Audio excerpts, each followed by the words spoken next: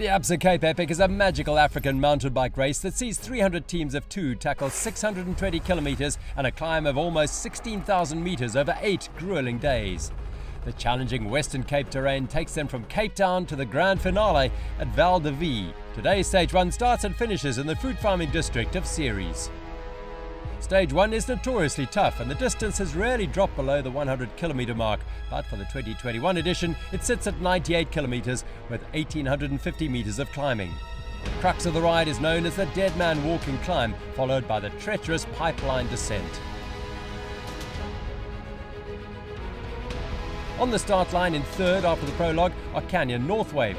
Second are BMC KTM and current leaders in the men's elite category, 91 Songo Specialized with Jordan Sarrou and Matthew Beers in the yellow zebra jersey. As the gun goes for the first stage of the 17th Absa Cape Epic, the leaders are with their closest rivals, BMC KTM and Canyon Northwave MTB. Both Bulls teams are also at the front, currently in 5th and 6th. A leave Ceres heading off into the rocky wilderness of the Western Cape.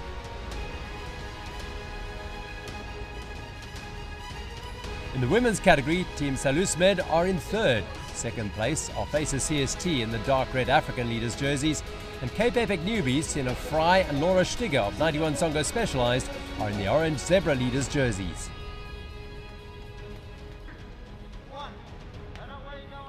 The start gun goes, and the women's pro category embark on the first marathon stage of the 2021 Absa Cape Epic.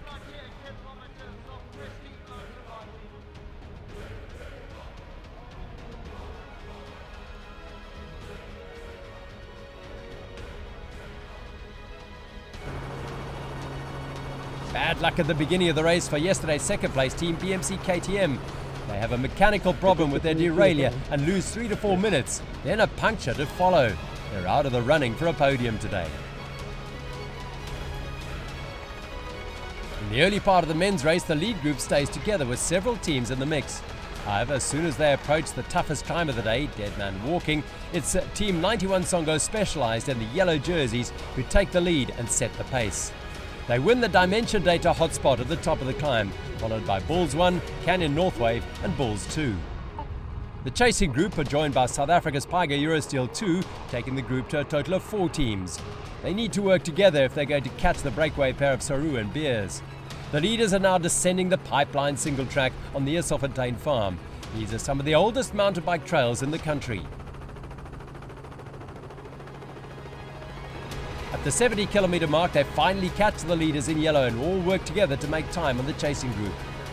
As the leaders approach the finish line in Ceres, a sprint finish is inevitable. For the final 10 kilometres, the pace is blistering. Urs Huber from Bulls 1 is the most experienced in this situation. It comes down to the final 3 kilometres where they jostle for position. As they round the final corner, the experience of Huber pays off as he and Schneller cross the line first, closely followed by Simon Stiebjahn and his partner Martin Frey for Bulls 2. Within the next three seconds, Canyon Northwave and the yellow jerseys also cross the line. It's an incredibly tight race.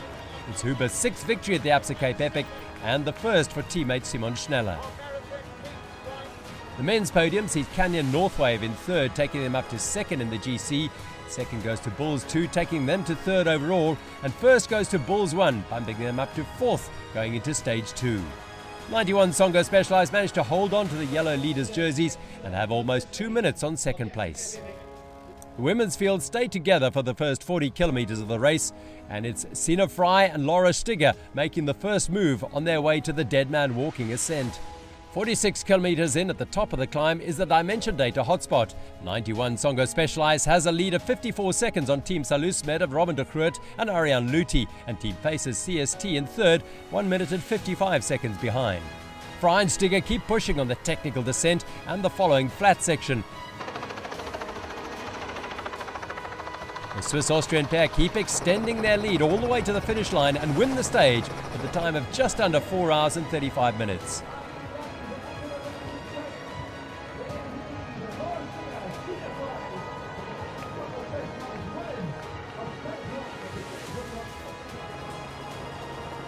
Ariane Luthi and Robin de Groot from Team Salusmed cross the line in second, 4 minutes and 51 seconds behind on today's tough stage.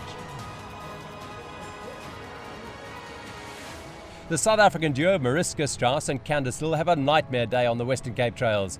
Strauss crashes twice, but they manage to limit the damage, crossing the finish line in third, just over 12 minutes behind the winners.